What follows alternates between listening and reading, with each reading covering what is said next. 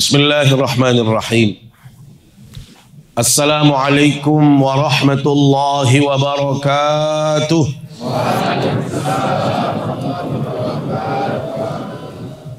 إن الحمد لله نحمده ونستعينه ونستغفره ونعوذ بالله من شرور أنفسنا ومن سيئات أعمالنا من يهده الله فلا مضل له ومن يضلل فلا هادي له.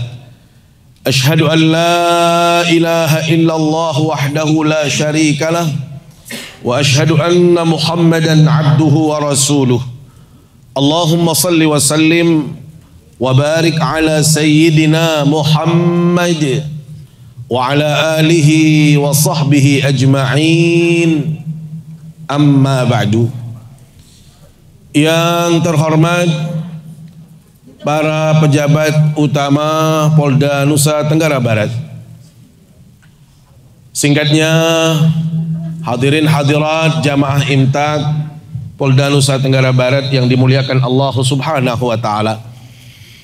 Mengawali kajian imtak kita di pagi hari yang penuh berkah ini, Izinkan saya mengajak kita semua untuk terus bersyukur kehadirat Allah Subhanahu wa taala. Karena tidak semua manusia mendapatkan nikmat yang banyak dari Allah Subhanahu wa taala. Terutama sekali nikmat bisa melakukan kebaikan, melakukan amal saleh, melakukan ketaatan dalam hidup ini.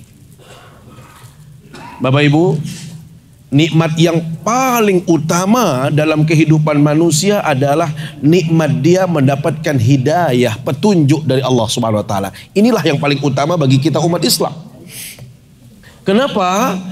Karena dalam keyakinan kita, bila mana seseorang itu sudah mendapatkan petunjuk dari Allah, maka dia bisa mendapatkan kebahagiaan dunia akhirat. Itu satu. Tetapi nikmat berikutnya setelah dia beriman kepada Allah adalah bila mana Allah memberikan taufiknya menunjukkan orang tadi untuk bisa melakukan kebaikan. Melakukan amal saleh, menghadirkan dirinya dalam ketaatan seperti yang kita lakukan saat ini. Ini adalah nikmat yang sangat besar yang Allah berikan kepada kita semua. Allah Subhanahu wa taala mengingatkan kita dalam surat Ghafir ayat 61. Bismillahirrahmanirrahim. Innallaha ladzu fadlin 'alan nas walakinna aktsaran nasi la yashkurun. Sesungguhnya aku atau Allah Subhanahu wa taala memberikan karunia, memberikan nikmat kepada kita itu sangat banyak sekali. Tetapi Allah Subhanahu wa taala juga mengingatkan kita di ujung ayat tadi, walakinna aktsaran nasi la yashkurun, tetapi kebanyakan manusia tidak pandai bersyukur kepada Allah Subhanahu wa taala. Maka mudah-mudahan kehadiran kita di pagi hari untuk menghadiri kegiatan imtak yang alhamdulillah dihidupkan kembali di hari Kamis di tempat yang mulia ini mudah-mudahan itulah cara kita untuk menunjukkan rasa syukur kita kepada Allah Subhanahu wa taala. Amin. Ya rabbal alamin. Salawat serta salam selalu kita sampaikan ke hadapan baginda Rasulullah sallallahu alaihi wasallam. Beliau menjadi panutan kita, teladan kita, contoh yang harus kita ikuti dalam kehidupan ini. Bila mana kita menjadikan beliau sebagai contoh kita. Apakah dalam ucapannya, dalam perbuatannya, dalam tingkah lakunya, hormati Allah, maka yakin kita semua akan mendapatkan syafaatnya di hari kiamat kelak. Amin ya rabbal alamin. Hadirin yang dimuliakan Allah Subhanahu wa taala. Salah satu ciri orang yang beriman kepada Allah itu adalah selalu dia mengingat Allah. Selalu dia menyebut asma Allah. Atau dalam bahasa agama dikenal dengan istilah zikrullah. Zikir kepada Allah. Mengingat Allah. Itulah kira-kira makna zikir. Yaitu mengingat atau menyebut nama Allah subhanahu wa ta'ala. Maka seseorang yang sudah beriman kepada Allah, dia akan selalu mengingat Allah di mana pun dia berada. Mau di kantor, dia selalu ingat Allah. Di tempat kerja, dia selalu mengingat Allah. Di jalan raya sekalipun, di saat dia bertugas, dia akan ingat Allah subhanahu wa ta'ala. Itulah ciri orang yang beriman. Makanya di dalam surat Al-Ahzab ayat 41 Allah Subhanahu wa taala menegaskan kepada kita, "Ya ayyuhalladzina amanu dzkurullaha dzikran katsira."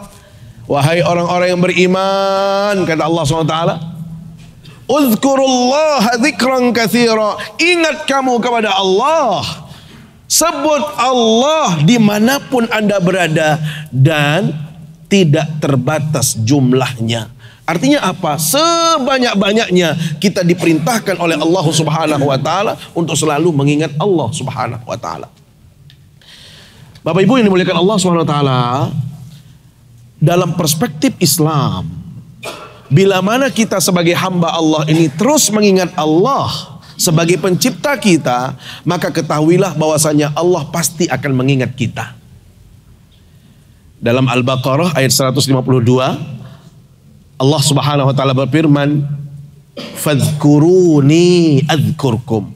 Ingat aku kata Allah, maka aku akan mengingat kalian. Bapak Ibu, bila mana kita diingat atasan saja nikmatnya luar biasa. Bayangkan kalau disebut Pak Susanto, wih yang sebut Pak Dir misal, itu beda Pak. Apalagi yang menyebutnya itu Pak Wakapolda, beda. Apalagi Pak Kapolda. Ini subhanallah, kita disebut oleh manusia saja gembiranya luar biasa. Bapak Ibu, bagaimana kalau yang menyebut kita itu adalah Allah subhanahu wa ta'ala. Nah, kapan kita akan disebut oleh Allah? Bila mana kita sering mengingat Allah. Bila mana kita terus menyebut Allah, maka pasti kita akan diingat oleh Allah subhanahu wa ta'ala. Bapak Ibu, ingatan Allah itu tidak akan pernah terbatas oleh waktu. Ingatan Allah itu tidak akan pernah lupa Allah SWT bila mana Allah sudah mengingat kita. Bayangkan kalau manusia mengingat Padir. Mungkin kalau dia masih sehat, masih dia ingat. Tetapi kan kita ini dibatasi oleh waktu. Mohon maaf, mungkin karena kita bertugas di sini masih kita ingat. Begitu kita pindah, mungkin kita sudah lupa lagi. Atau yang tidak bisa kita lupakan Bapak Ibu apa? Usia. Orang semakin menua, pasti dia akan lupa. Dan itu pasti karena ini janji Allah Subhanahu wa taala, "Wa man nu'ammirhu nunakkisu fil khalq." Tadi ayat yang kita baca, Ustaz Saril sudah memimpin kita, "Wa man nu'ammirhu nunakkisu fil khalq." Barang siapa yang kami tambahkan usianya, kami berikan kesempatan hidup yang lebih lama, maka kami akan kurangi dia dari sisi-sisi yang lain. Usia boleh bertambah Bapak Ibu, ingatan kita sudah mulai berkurang. Makanya dalam tradisi kita ini kan kalau orang sudah terlalu tua sekali padir, orang Lombok itu ada namanya upe. Upe itu sudah nggak ingat lagi. Pikun dia. Pikun itu susahnya apa? Kadang-kadang sampai pendampingnya juga dia lupa. Ini siapa ya? Padahal istrinya. namanya orang pikun itu. Ini bahaya kalau sudah istri saja dilupakan.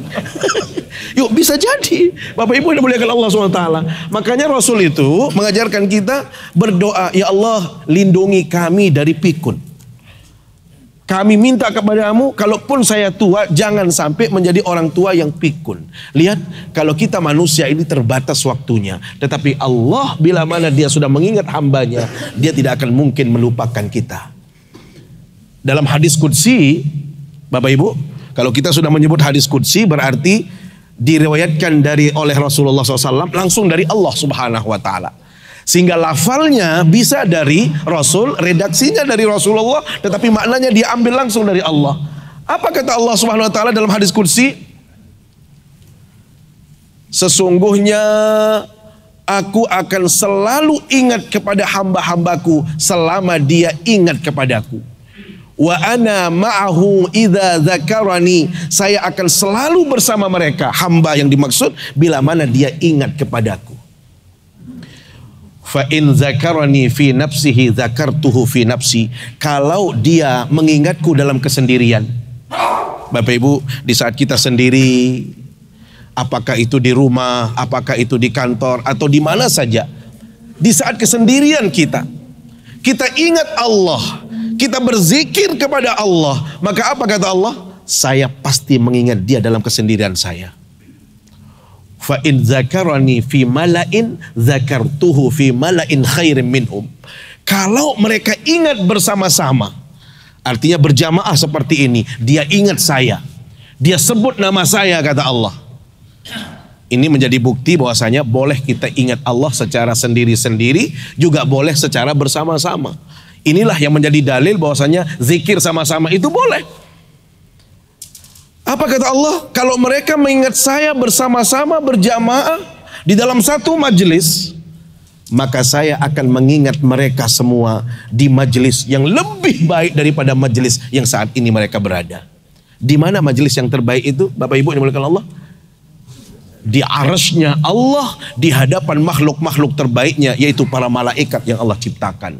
Masya Allah. Disebut satu-satu tuh lihat ihsan tuh walaupun sibuk tugas tapi dia mengingat Allah. Tuh lihat tuh misalnya Pak Adi, walaupun dia masya Allah sibuknya luar biasa, tapi kalau ngaji dia selalu hadir di pengajian. Disebut siapa yang menyebut Allah di mana di hadapan para malaikat.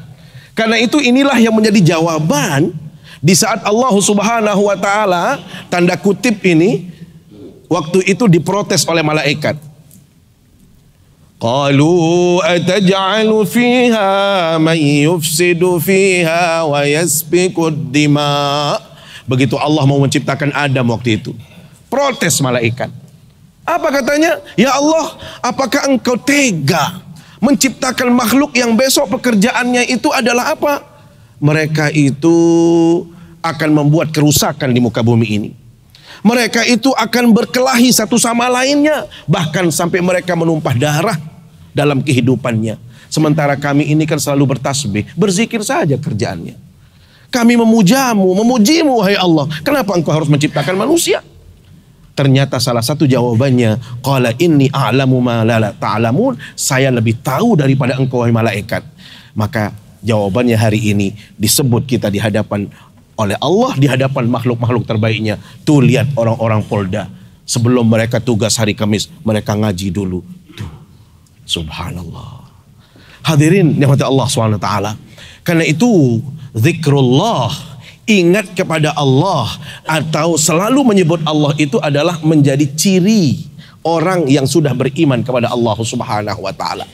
Sebaliknya, Bapak Ibu, bila mana kita dalam kehidupan ini sering lupa kepada Allah, tidak mau berzikir kepada Allah, tidak mau ingat kepada Allah, maka ingat sanksinya itu sangat berat sekali dalam surat Toha ayat 142 Allah Subhanahu wa taala berfirman wa man a'rada an dzikri fa inna lahu ma'isyatan dhanka wa nahsyuruhu yaumal qiyamati a'ma. Barang siapa yang enggan dari mengingat enggan untuk mengingatku kata Allah enggan berzikir kepada Allah dia tidak mau ingat Allah. Saking sibuknya dengan tugasnya sampai-sampai dia lupa Allah Saking seriusnya dia melakukan tugasnya, maka dia sampai tidak mau mengingat Allah, tidak mau berzikir kepada Allah. Ini namanya orang-orang yang enggan menyebut Allah. Wa man a'rada an dzikri. Barang siapa yang tidak mau menyebutku, tidak mau mengingatku kata Allah taala, fa inna lahu ma'isyatan dhanka. Orang ini akan merasakan hidup itu hidup yang sangat sempit sekali. Bangka dalam ayat tadi Bapak Ibu dimaknai sebagai dayyiqah. Sempit. Hidupnya terasa sempit. Hatinya terasa sempit. Dadanya terasa sempit. Sampai-sampai ulama tafsir mengatakan dia akan merasakan rasa yang sempit dalam hidup ini. Artinya dia tidak tenang, tidak nyaman walaupun dia memiliki harta yang banyak. Boleh dia punya aset di mana-mana. Boleh dia punya harta di mana-mana, tetapi dia tidak merasakan kenikmatan, kenyamanan dalam hidup itu dia tidak rasakan. Kenapa? Karena dia jauh dari Allah SWT. Dia lupa kepada Allah SWT. Bapak Ibu, dalam kehidupan manusia, mohon maaf, yang paling utama lagi adalah apa? Rasa nyaman sebenarnya, rasa tenang. Bukankah kalau kita sudah tenang hati kita, perasaan kita, bekerja nyaman, ya. Tidak perlu kita diperintah-perintah. Kenapa? Karena ini adalah kewajiban kita. Kita lakukan dengan baik. Ibadahnya khusyuk, sholatnya tenang. Kenapa? Sumbernya yang sudah tenang. Tetapi kalau yang di sini tidak tenang, tidak nyaman, Bapak Ibu yang dimuliakan Allah SWT, maka kita tidak akan sulit merasakan kenikmatan. Khusyuk ibadah itu sulit ya mau bekerja pun malas dan lain sebagainya. Inilah yang disebut oleh Allah SWT. Barang siapa yang jauh dari Allah, tidak mau mengingat Allah, tidak mau berzikir kepada Allah, maka hidupnya itu tidak akan merasakan ketenangan. Pantas kiranya dalam Al-Quran disebutkan ala bi tatmainnul qulub. Ketahuilah bahwasanya dengan menyebut Allah, dengan mengingat Allah, hati kita ini akan terasa nyaman, akan terasa tenang dalam hidup kita. Bapak Ibu yang Allah, apakah cukup orang yang lupa kepada Allah, orang yang tidak mau mengingat Allah itu hanya dia merasakan tidak nyaman hidupnya? Ternyata itu di dunia Bapak Ibu. Di akhirat, apa kata Allah? Wa nahsyuruhu yaumal qiyamati a'ma.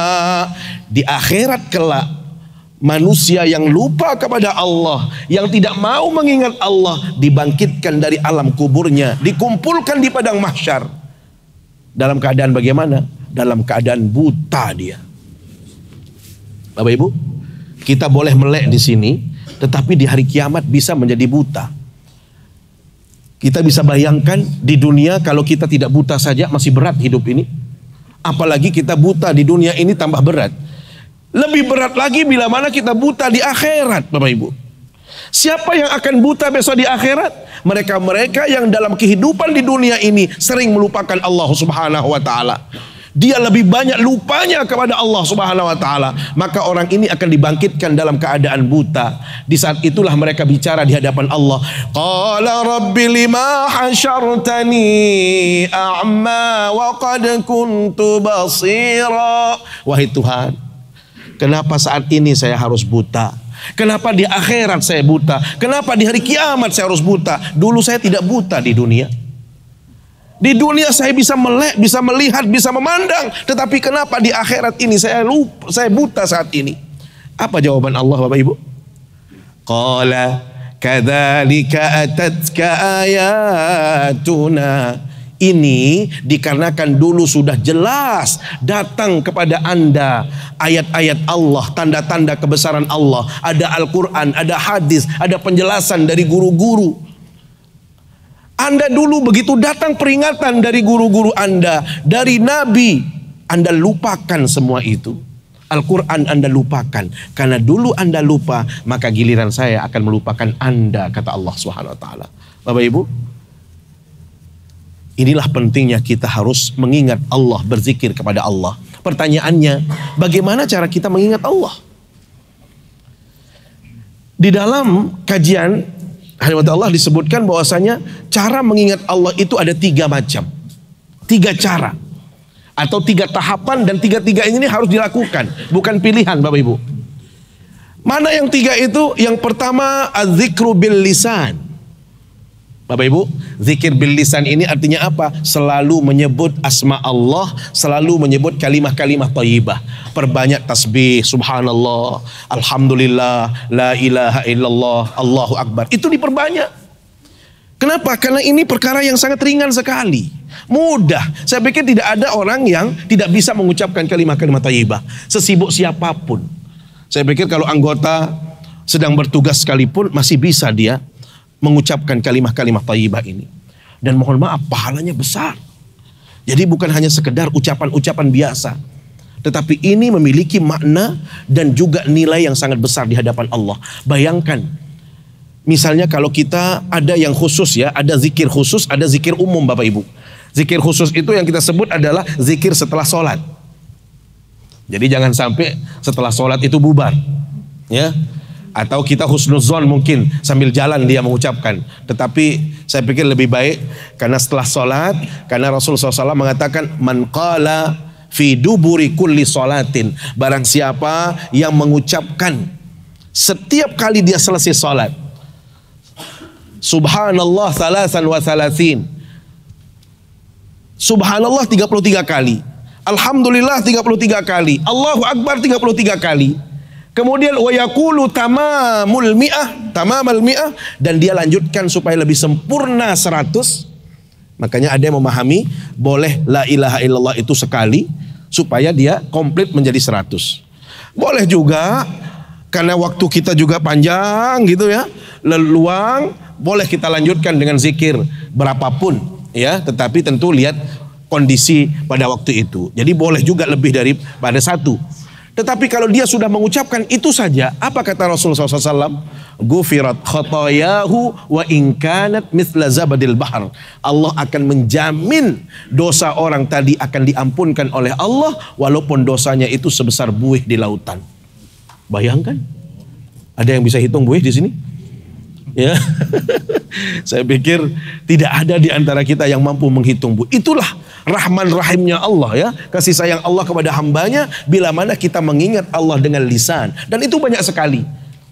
Itu yang khusus tadi setelah sholat. Bisa yang umum. Kita amalkan misalnya tasbih itu 100 kali boleh ya atau mungkin uh, la haula wala quwata illa billah boleh sayyidul istighfar boleh banyak sekali Bapak Ibu yang penting jangan lupa untuk bertasbih bertahmid bertahlil kepada Allah SWT ini cara kita mengingat Allah yang pertama yang kedua Bapak Ibu az-zikru bil qalb. Zikir dengan hati. Bagaimana cara kita zikir dengan hati? Kita merasakan kehadiran Allah dalam diri kita. Dengan begitu melihat ciptaan Allah, melihat alam sekitar, melihat diri kita, Bapak Ibu dimuliakan Allah, langsung hati kita ini kontak. Kita merasakan kehadiran Allah sehingga kita merasa nyaman, merasa tenang, merasa termotivasi melakukan kebaikan. Kenapa? Karena kita yakin dengan hati kita Allah itu selalu mengawasi, melihat kita dan lain sebagainya. Makanya dalam surat Al-Ghasyiyah Bapak Ibu setiap hari Jumat kita bacakan afala yanzuruna ilal ibili kaifa khuliqat Apakah mereka tidak melihat kepada onta bagaimana diciptakan oleh Allah? Wa ilas sama'i kaifa rufi'at. Lihat langit bagaimana Allah meninggikannya. Wa ilal jibali kaifa nusibat gunung yang dikokohkan oleh Allah. Wa ilal ardi kaifa sutihat. Lihat bumi yang dihamparkan oleh Allah. Untuk apa? Fadzakir. Ingat Allah dengan melihat ciptaan Allah. Jadi kalau kita hati ini sudah merasa dekat dengan Allah Bapak Ibu begitu menyebut nama Allah berarti inilah zikir yang disebut dengan zikir dengan hati. Saya pikir ini mudah sebenarnya kalau kita benar-benar bisa melakukannya.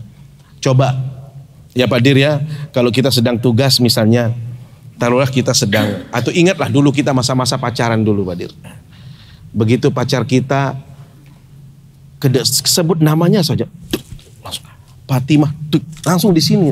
Padahal orang yang nyebut Fatimah Fatimah yang mana? Tapi karena pacar kita namanya Fatimah, kok kita harus kontak? Truk yang lewat itu, cuma di situ ditulis ada nama pacar kita. Truk lewat saja, tek, masya Allah. Jadi truk saja sudah kita merasa tersentuh. Kira-kira itulah orang yang benar-benar ingat kepada Allah dengan hatinya. Sehingga dia melihat ciptaan Allah kebesaran Allah dia langsung kontak kepada dirinya dan hatinya mengatakan bahwasanya Allah itu benar-benar kuasa untuk melakukan apa pun. Ini adalah cara mengingat Allah yang kedua. Dan yang terakhir Bapak Ibu dimulakan Allah SWT cara mengingat Allah yang ketiga adalah azikru bil zikir dengan tindakan atau perbuatan Bagaimana caranya kita berzikir dengan tindakan? Lakukan perintah Allah. Salat. Aqimil salata li Dirikan salat sebagai cara anda untuk mengingatku. Puasa untuk mengingatku. Umroh untuk mengingatku. Bersedekah untuk meng... Semua yang kita lakukan itu adalah karena kita ingat kepada Allah subhanahu wa ta'ala. Maka orang yang lupa kepada Allah, dia tidak akan melakukan perintah-perintah Allah subhanahu wa ta'ala dalam tindakan nyata. Bapak Ibu, tiga cara berzikir ini tidak boleh dipilih. Ya, ini bukan wilayah pilihan. Ya, bukan nomor satu yang dipilih. Ini mentang-mentang lah saya pakai pakai nomor satu saja dah. Ya, pakai nomor satu apa? Zikirnya kuat-kuat, zikir terus, tasbih nggak pernah lepas. Semalam kadang-kadang lima ribu, sepuluh ribu. Subuh gak dilakukan. Kenapa? Semalam nih nyeribu kita katanya. Ya, nyeribu-ribu luntuh. Jadi dia terus zikir-zikir yang banyak tapi lupa sholat subuhnya. Ah ini salah ini. Jadi paket nomor satu juga mentah itu. Ya, bagaimana dia harus menghadirkan paket yang nomor dua juga. Hatinya juga ikut berzikir. Dan yang ketiga, paket yang ketiga ini juga harus dilakukan. Sehingga bila mana kita bisa melakukan zikir dengan tiga cara tadi, Bapak Ibu dimuliakan Allah SWT, maka insya Allah Allah pasti akan mengingat kita, Allah selalu akan membanggakan kita dalam kehidupan ini. Bila mana Allah sudah ingat kepada kita, Allah pasti kita selamat. Pasti kita bahagia, pasti kita nikmat dalam hidup ini. Menjalankan tugas enak, sebagai kepala rumah tangga nikmat, sebagai anggota masyarakat juga kita selalu melakukan kebaikan. Kenapa? Karena Allah selalu mengingat kita dan menjaga kita dalam hidup ini. Saya pikir demikian karena nanti akan ada sesi uh, diskusi atau sharing. Kami berikan waktu atau kesempatan. Terima kasih atas perhatian kita semua dan mohon maaf bila ada hal-hal yang kurang berkenan. Aku qauli wa astaghfirullah wa lakum. Wassalamualaikum warahmatullahi wabarakatuh.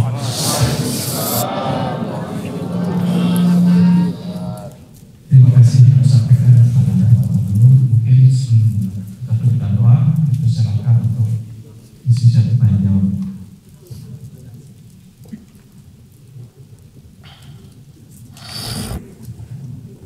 Masih Pak Nur.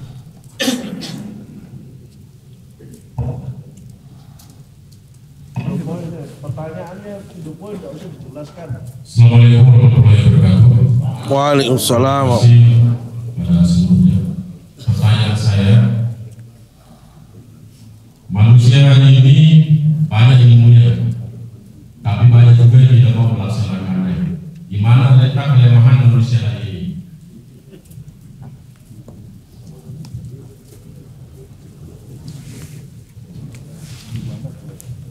Ya, terima kasih Pak Muhammad Nur atas pertanyaannya. Kalau kita berbicara di mana kelemahan manusia, kelemahan manusia itu di saat dia lupa dari Allah, lupa kepada Allah, jauh dari Allah. Itulah kelemahan manusia. Ya. Karena apa? Karena seseorang bila mana dia sudah jauh dari pelindungnya. Ya, jauh dari zat yang maha kuasa yang menjadikan kita ini adalah Allah SWT. Tempat kita berlindung, tempat kita meminta. Maka inilah kesalahan besar manusia, kelemahan besar manusia bila mana dia sudah melupakan orang yang melindungi dia, yaitu Allah Subhanahu wa taala. Bagaimana cara dia melupakan Allah ya tadi dengan dosa yang terus dia perbuat. Dia lupa kepada Allah. Dia selalu melakukan maksiat, melakukan dosa. Maka sebenarnya mohon maaf Allah, Bila mana ada orang yang dalam kehidupan ini lebih banyak melakukan dosa, maka sebenarnya dia ini adalah menunjukkan kelemahannya. Ini adalah kelemahan manusia. Makanya kenapa disebut iman itu kan yazidu wa yangkus. Iman itu bertambah dan iman itu kadang-kadang berkurang. Ya. Kapan dia iman itu bertambah Bapak Ibu? Bila mana kita menghadirkan kebaikan, ketaatan, patuh kepada Allah, maka kita akan kuat. Ya. Begini contohnya. Kalau tiang, kalau kita beribadah karena Allah, itu nyaman kita. Tetapi kalau kita beribadah karena manusia, itu terasa berat. Kenapa? Di saat manusia tidak memuja kita, memuji kita, tidak mengangkat kita, pasti kita akan stres hidup ini. Tetapi kalau Allah yang menjadi tujuan kita, nikmat. Mau orang menyanjung kita, mau memberikan apresiasi nggak penting. Kenapa? Karena Allah sudah mencatatnya. Ini yang kadang-kadang menjadi kelemahan kita. Allah itu kita nafikan keberadaannya. Coba bayangkan, ini masa-masa tahun politik. Boleh kita contohkan. Seringkali dulu ada orang yang mau menggait suara itu sampai mengeluarkan bantuan, sedekah. Tapi ada yang mohon maaf motivasinya karena Allah, maka dia nyaman. Tetapi ada orang yang niatnya bukan karena Allah. Contohnya dia dulu kasus di NTB ini ada yang ngasih karpet calon. Nih karpet ini. Begitu nggak jadi, dia ambil karpet itu. Yeah. Berarti kan dia terhina sekali. Halimat Allah, terhina dia. Dia menunjukkan kelemahannya. Manusia yang strong tadi, dia benar-benar melakukan atau menghadirkan bantuan tadi karena Allah. Mau dipilih, mau tidak dipilih. Saya yakin Allah sudah mencatat saya sebagai sebuah kebaikan. Jadi tidak perlu kita harus merasa ada kehilangan dalam diri kita, ada sesuatu yang uh, apa namanya tidak baik dan tidak perlu. Kenapa? Allah itu maha tahu atas apa yang ada dalam diri kita. Maka hormati Allah, bila mana kita memperkuat hubungan kita dengan Allah, pasti kita kuat. Karena Allah yang maha kuat. Yang akan memberikan kekuatan kepada kita itu Allah. Kalau kita manusia ini lemah sifatnya. Maka kalau ada orang yang berani jauh dari Allah, maka dia sebenarnya sedang menunjukkan kelemahannya dalam kehidupan kita. Maka Bapak Ibu dimakan Allah SWT, tunjukkan kalau kita ini adalah orang yang kuat, maka orang yang kuat itu adalah selalu melakukan perintah-perintah Allah secara total dalam hidupnya. Sebaliknya jangan menjadi orang yang lemah. Kalau dalam bahasa hadis itu disebut dengan al-ajiz. Ajiz itu boleh dikatakan orang yang lemah atau orang yang bodoh. Siapa yang bodoh itu? Ada dua. Satu, manittaba'a nafsahu hawaha. Orang yang memperturutkan hawa nafsunya dalam hidup. Ini orang lemah. Ya. Jadi keinginan hawa nafsu saja yang dia turuti. Allah dia kesampingkan. Ini orang lemah, orang bodoh. Siapa lagi yang kedua? Tamanna alallahil amani. Orang yang sukanya hanya berangan-angan saja. Jadi selalu berande-ande. Dia begini-begini tapi tidak ada buktinya. Dia tidak ada realisasinya. Ya dia bayangannya tinggi-tinggi terus. Nanti kalau keluar bintang satu saya ya. Padahal dia belum masih, masih misalnya ini kan angan-angan. Kecuali kayak model Pak Kombes ini sudah boleh nih tinggal minta studi saja kan. Minta doa, doakan ya supaya saya bisa studi.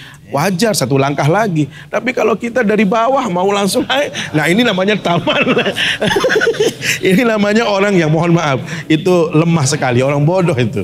Ya, terlalu berangan-angan yang terlalu tinggi. Kalau kita ini ya sesuai dengan kemampuan sajalah cita-cita kita ya. Sebagai demikian, wallahu a'lam.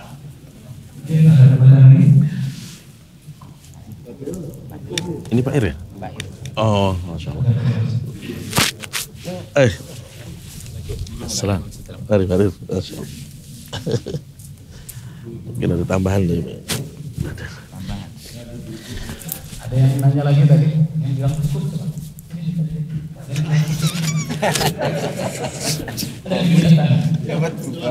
Cukup jelas. Tadi nanya sebelah sini. Ah, ada lagi. Silakan. Lanjut, Pak. Assalamualaikum warahmatullahi wabarakatuh. Waalaikumsalam warahmatullahi wabarakatuh.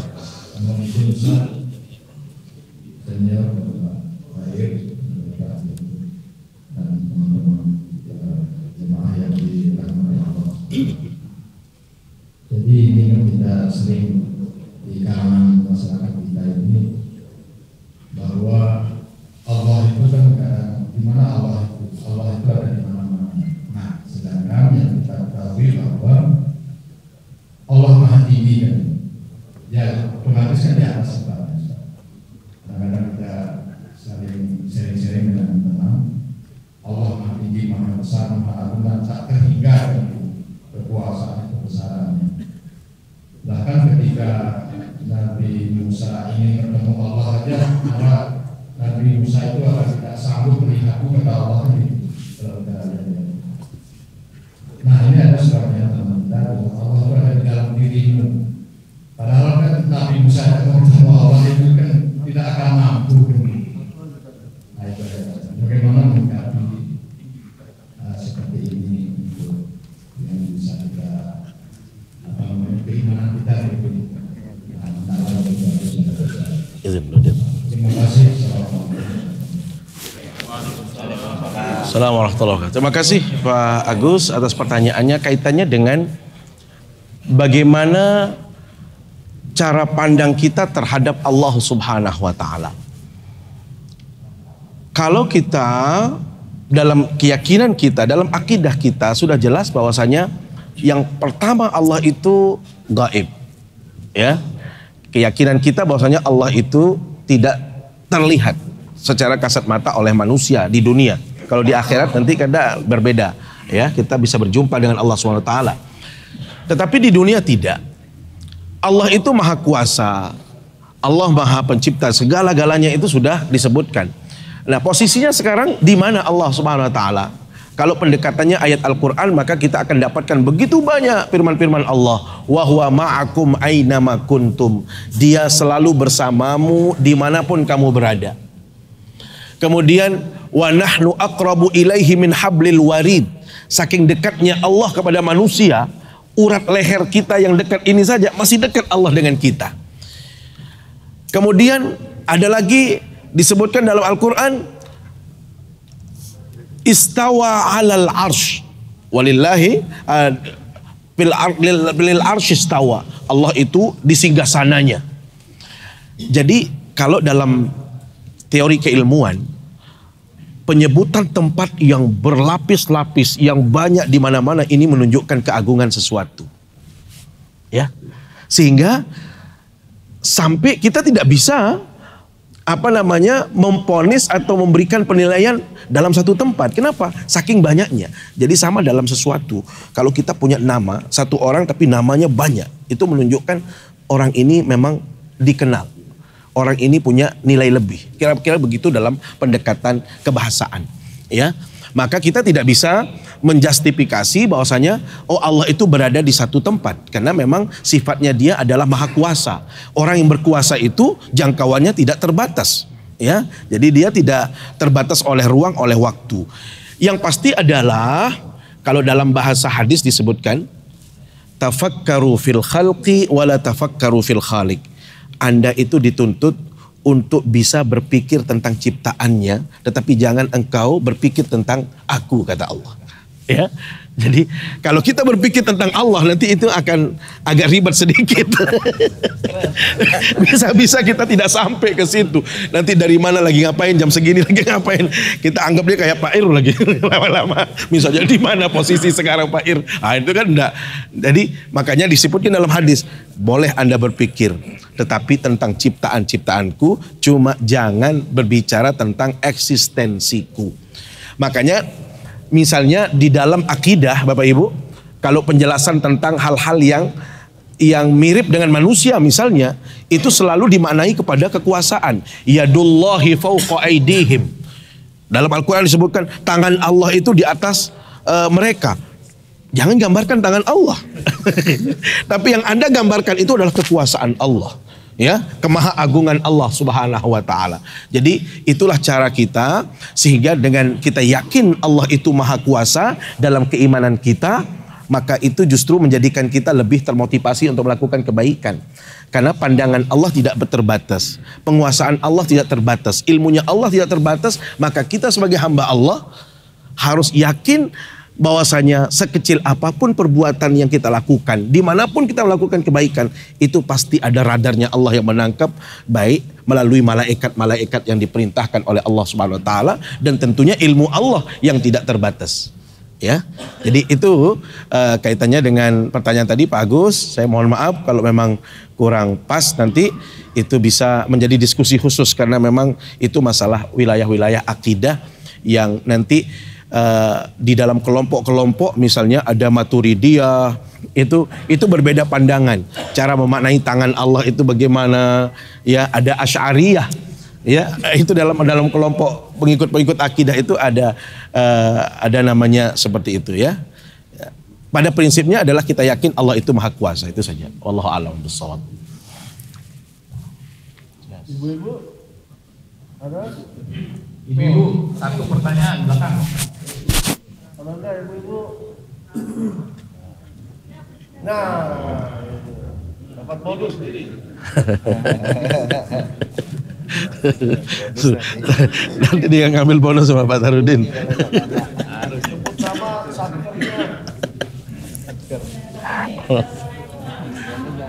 Waalaikumsalam warahmatullahi wabarakatuh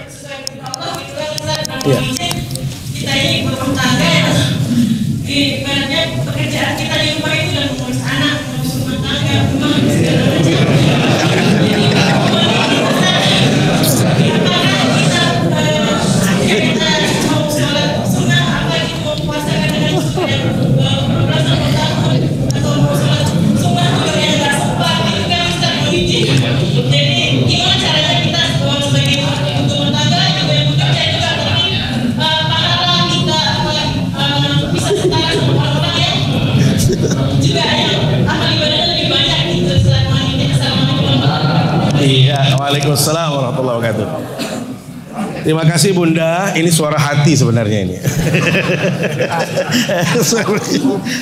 Bunda yang dimuliakan Allah SWT dan ibu-ibu yang hadir, inilah nikmatnya menjadi perempuan. Ya, perempuan itu bonusnya banyak sekali bu. Ya, kalau laki itu masya Allah, ya dia harus berjuang keras dulu, harus serius dulu, baru dia dapat pahala. Tapi kalau perempuan itu satu diskon dia dikasih, ada menstruasi itu kan dia nggak sholat, libur dia. Kalau laki kan nggak ada. Pak Kombes nggak boleh macam-macam. Mau libur-libur bahaya. Ada ada Pak Irs ini di samping kiri bahaya. Nggak bisa libur-libur kita. Ini Allah yang menentukan bu. Ya, di saat Anda mendapatkan itu itu namanya rukhsah. Jadi Allah memberikan keringanan diskon yang luar biasa. Kemudian perempuan kalau dalam Islam dia duduk manis saja ya, dia sudah dapat pahala. Duduk manis. kalau laki kan mohon maaf perjuangannya harus ke masjid dulu. Cara duduk manis Kalau laki kan harus berjuang dulu pak. Bayangkan kalau dia mau dapat pahala pergi ke masjid dulu. Atau dia cari nafkah dulu dan lain sebagainya. Pergi ke kantor dulu. Kalau perempuan dia duduknya di rumah tadi disebutkan yang ngurus anak, ngurus suami, ngurus segala-gala itu semuanya sumber ibadah, Bu. Jadi tidak terbatas ibadahnya ibu kalau di rumah itu. Jadi semua yang dilakukan yang membuat suami senang itu pahala semua.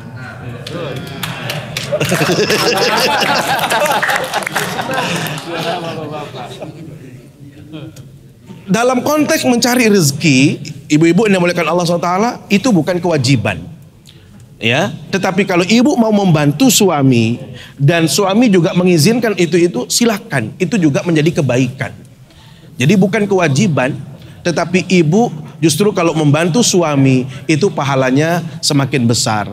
Ibu mendidik anak ya termasuk misalnya mengurus urusan dapur di situ itu semuanya adalah menjadi ladang pahala bagi perempuan-perempuan apalagi kalau tadi ditambah lagi dengan zikir-zikir Bu sembari kita masak misalnya kan lah kita baca tasbih subhanallah alhamdulillah wala ilaha illallah wallahu Suami baru pulang capek bu. Bayangkan di lantas itu kalau sudah dipanas-panas.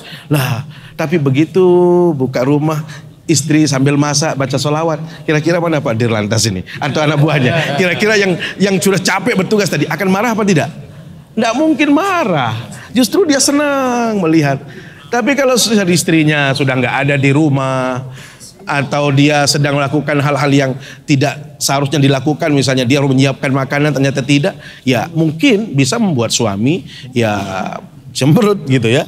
Tetapi ibu-ibu ketahuilah bahwasanya semua yang dilakukan itu adalah bagian daripada ibadah. Maka yang paling penting sekarang ibu-ibu tadi kan iman itu berkurang Bu ya. Bagaimana cara merawat supaya iman itu stabil? Kan begitu? Satu tentu dari pribadi ada keinginan yang kuat untuk menambah keimanan. Artinya kita ya berupaya memaksa diri untuk menambah ilmu pengetahuan, membaca yang banyak, membaca Al-Quran dan lain sebagainya. Yang kedua mohon maaf, komunitasnya juga harus komunitas yang memang bisa membawa dia untuk mengingat Allah. Karena memang kita dalam komunitas ini kadang-kadang ya macam-macam bentuknya. Kalau kita sudah komunitasnya, mohon maaf bu, sosialita ya, jadi agak ribet juga sih. gitu kan? Tetapi kalau komunitas kita adalah mohon maaf grup kita di WA ini juga yang sering mengingatkan untuk berbuat baik, mengingatkan misalnya, eh sudah ngaji belum hari ini atau sudah menyebut anak dan lain sebagainya hal-hal yang yang orientasinya adalah untuk kebaikan. Maka saya yakin kita juga akan terus terjaga dalam keimanan Bu ya. Jadi pintar-pintar kita mencari teman. Makanya Rasul SAW katakan apa? Almar'u ala dini khalilihi. Seseorang itu sangat tergantung kepada agama temannya. Kalau temannya itu yang baik-baik, insya Allah kita akan dibawa kepada yang baik-baik.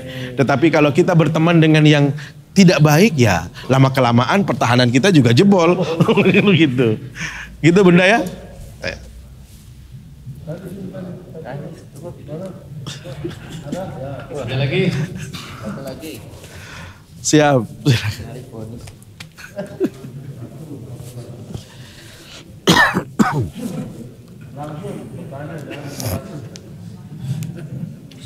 wabarakatuh. Waalaikumsalam warahmatullah Boleh Pak Guru, eh, ini mungkin pertanyaan jawabnya di luar materi yang disampaikan saat ini, tapi eh, terkait dengan kurban. Ini ya sempat saya simpan-simpan terus pertanyaan yang ketiga. Maksudnya belum sempat ketemu, belum sempat. Karena eh, sebenarnya sudah dijelaskan Guru di pengajian yang berbeda terkait dengan idul tapi ada yang perlu yang tanyakan masalah adanya si berkorban mengatasnamakan almarhum. Aku belum menjelaskan seperti apa. Ah, Nah, di saat itu masih kita melihat saudara-saudara kita yang berkorban atas nama yang sudah meninggal. Kira-kira kita menjelaskannya. Kalau memang yang sudah meninggal tidak diwajibkan untuk berkorban, kemudian atas eh, akarnya itu seperti apa yang dilakukan bagi korbannya? kurban ibadah kurban Apakah ibadah kurban jadi sedekahkan sementara eh, akadnya adalah untuk korban berserikat. Demikian. Assalamualaikum warahmatullahi Assalamualaikum warahmatullahi wabarakatuh. Terima kasih. Ibadah kurban adalah merupakan ibadah yang sangat mulia yang disebut hukumnya itu sunnah muakkadah. Sangat ditekankan sekali bagi mereka yang memiliki kelebihan ya. Nah pertanyaan sekarang bagaimana hukum berkorban atas orang yang sudah meninggal dunia? Memang para ulama memberikan satu penegasan ya satu penegasan. Apa itu? Bila mana seorang yang meninggal tadi sebelum meninggal dia berpesan besok korbankan untuk saya. Ya dia berpesan. Ya ada semacam wasiat. Nina ini ada tanah yang saya punya tolong nanti dijual kemudian korbankan untuk saya. Jadi dia sudah berpesan maka ulama mengatakan ini menjadi pesan yang wajib ditunaikan. Ya. Yang kedua kalau dia tidak berpesan tidak ada kewajiban. Jelas ya. Sehingga orang yang sudah meninggal dia tidak ada eh, apa namanya keharusan untuk eh, melakukan ibadah kurban ya. Karena memang kurban ini untuk orang yang yang masih hidup. Tetapi apakah misalnya pertanyaannya orang ini kan sampai enggak pahalanya bila mana orang yang sudah meninggal itu tidak ada pesan tetapi kita korbankan ya dalam pandangan tiang apa pun yang kita lakukan terhadap orang yang sudah meninggal insya Allah sampai. Ya yang penting kita niatkan ya. Karena mohon maaf orang kalau sudah meninggal dunia memang terputus amalan-amalannya. Kecuali anaknya itu melakukan kebaikan atau ada orang lain yang melakukan kebaikan untuk dia ya jadi prosesnya bagaimana Allah menerima itu bukan urusan kita. Tetapi yang pasti insya Allah Allah maha menerima segala apa yang diniatkan oleh hambanya. Ya, jadi insya Allah kalau ada orang-orang yang sudah meninggalkan kita, contohnya begini, Bapak Ibu. Saya tak, saya nggak tahu tapi kalau Pak Ir ini gimana masa kecilnya beliau dulu. Kalau kita kita ini kan Pak Dir ya, waktu SMA dulu misalnya Ya namanya anak-anak SMA, SMP itu kan masa nakal-nakalnya Pak Ir, Pak, Pak Kombes. Di SMP, SMA ambil pisang goreng lima, bilang dua. masih ingat ya Pak? Pak Gopes? Pak Ismail masih ingat? Waktu kita capek-capek olahraga kan beli es es jajan kayak dulu itu kan, wih kita makan tiga. Nih bi satu bi katanya kan? Atau ngambil permen Benson dulu. masih ingat permen Benson itu ya? Ambil lima berapa itu? Dua. Bayar dua kan? Kan yang begini-gini kan dosa Pak. Dosa kan? Nah, bagaimana cara kita untuk meleburkan diri kita, menghalalkan diri kita dari dosa seperti ini? Bapak Ibu, satu, namanya dosa yang kaitannya dengan materi itu wajib dikembalikan. Wajib dikembalikan. Masalahnya, orang yang tempat kita berhutang itu kan sudah tidak ada. Ya, ahli warisnya juga tidak ada, Kan sementara kita juga merasa berdosa. Bagaimana cara kita untuk mengembalikan diri kita supaya kita tidak ada tanggungan kepada mereka? Satu, tentu sebagai orang yang beriman adalah kita sering-sering mendoakan supaya dia diampunkan semua dosa dan kesalahan dan diterima. Yang kedua, banyak-banyak bersedekah atas nama orang itu. Sedekahkan dia. Nih, saya niatkan untuk si Pulan. Ya, hanya itu caranya. Kalau nggak begitu, lah berabe juga kita kan kalau kita sudah tidak ingat kepada mereka. Jadi salah satu yang bisa kita lakukan adalah sedekahkan dia. Ya atas nama dia, nih anak yatim, ada rezeki saya untuk orang yang pernah kita zolimi tadi. Jadi saya pikir itu bisa dikiaskan, dianalogikan dalam konteks uh, berkorban. Ya, wallahu a'lam. Mungkin cukup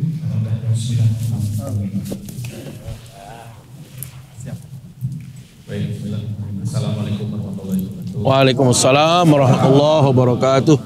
Alhamdulillah eh, Pak Ustadz yang saya hormati, rekan-rekan eh, hari ini kegiatan Binroh Alhamdulillah kayaknya sudah bertambah nih Ustaz. Alhamdulillah. Ramai sekali. Alhamdulillah sudah bisa ada lebih banyak meningkatkan keimanan kita, ketakwaan kita. Bicara ketakwaan, keimanan Pak Ustadz tadi juga rekan-rekan sudah ada yang bertanya. Kita ini kadang-kadang itu naik turun iman kita itu Benar, benar, benar. Naik turun, bagaimana kita kadang mengingat kembali, mengingat gitu. target-target yang kita inginkan itu Pak Ustadz ya kadang di eh, kehidupan nih Pak Ustadz ada satu eh, fenomena alam atau memang sudah suratan atau memang sudah apanya Tuhan kepada kita ya Ustaz. Kadang-kadang kita mungkin melakukan banyak kesalahan, kesalahan yang kita ya disengaja mungkin atau tidak disengaja. Terus termasuk yang Allah bilang kita masih ditutup aib, kita masih tutup aib kita iya ya yang kesalahan-kesalahan kita itu. Tapi satu ketika Allah membuka aib kita itu, Ustaz. Nah itu apa memang sudah Allah itu sudah Ya, maksudnya kita udah keterlaluan gitu loh Ustaz. Akhirnya dibukakan aib kita.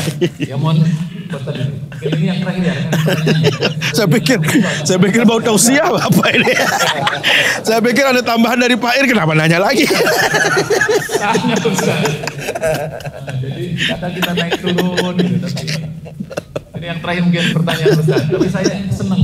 Kayaknya lebih dari 200 nih sekarang. Insya Allah. Iya. Insya Allah. Pak Warper. Sekarang ada Pak Ir, Ir, Irbin tuh sekarang. Lebih 200 kayaknya nih. Alhamdulillah rekan-rekan. Udah banyak. Alhamdulillah ada Pak Dir lagi Pak Dir. Udah. Udah aman. Ustaz. Aman. Iya. Ketua masjid ya. Beliau coba memberikan kita perenungan sebenarnya. Ada semacam upaya untuk kita muhasabah. Dalam kehidupan ini kita kadang kala banyak sekali dosa yang kita lakukan. Dan saya pikir itu semua kita pasti berdosa karena kita manusia. Makanya ungkapan Abi Nawas, Abu Nawas itu wa umrina qisum fi kulli yaumi wa zambi zaidun kaifa ihtimali secara normatif kata Abu Nawas usia ini sebenarnya ada pengurangan karena kalau kita tentukan oleh Allah 60 Ya, berarti saat ini yang sudah memasuki 50 Pak Ir berapa? 54. 54 berarti 6 tahun lagi. Iya, itu kan maksudnya sampai 60 maksud saya. Bukan meninggal tapi sampai 60 kan. Sementara baginda Nabi itu memberikan penjelasan a'maru ummati baina sittin ila sabain. Umur kebanyakan manusia itu berkisar antara 60 sampai 70. Ya. Berarti apa? Kalau ada yang lebih dari 70 kata Rasul bisa dihitung dengan jari jemari.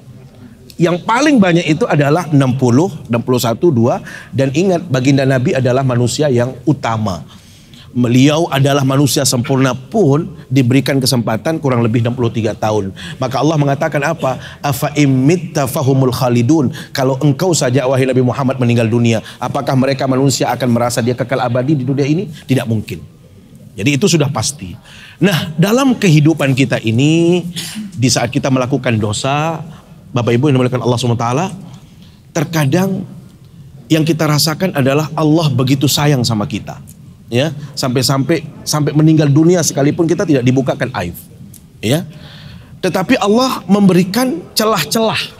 Misalnya ada teman yang sama, ternyata ada saja cara Allah buka aib. Jadi dia tidak langsung membuka aib kita, tetapi lewat teman. Ya, jadi lewat orang lain. Nuh lihat tuh orang lain. Apa kita nggak sadar? Kira-kira begitu.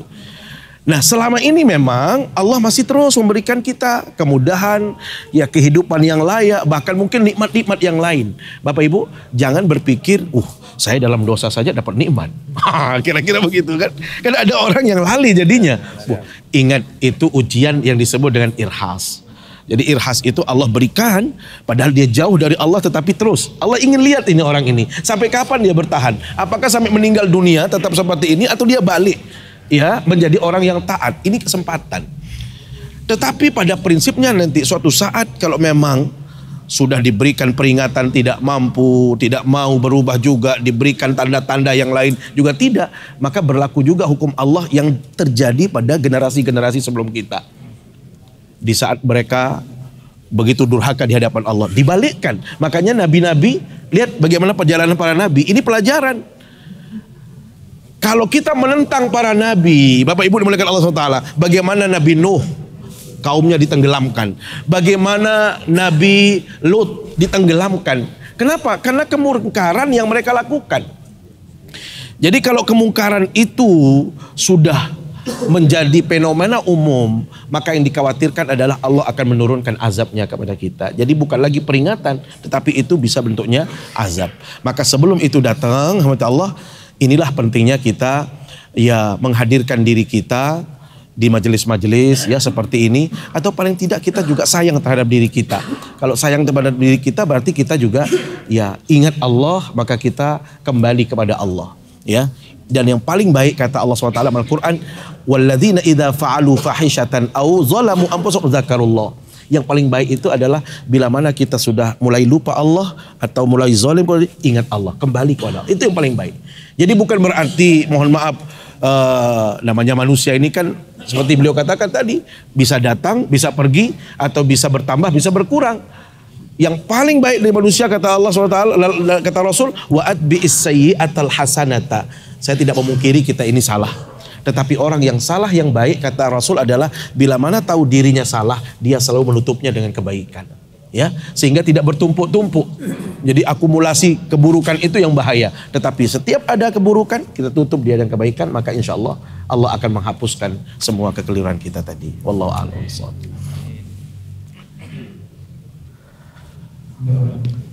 Izin. Alamin. الصلاة والسلام على أشرف الأنبياء والمرسلين سيدنا ومولانا محمد وعلى آله وصحبه أجمعين. اللهم اجعل جمعنا هذا جمعا مباركا مرحوما وتفرقنا بعد هذا تفرقا حسنا معصوما. ولا تجعل فينا ولا بيننا شقيا ولا محروما. ربنا آتنا في الدنيا حسنة وفي الآخرة حسنة وقنا عذاب النار. صلى الله على سيدنا محمد وعلى آله وصحبه أجمعين. سبحان ربك رب العزة عما يصفون. وسلام على المرسلين والحمد لله رب العالمين.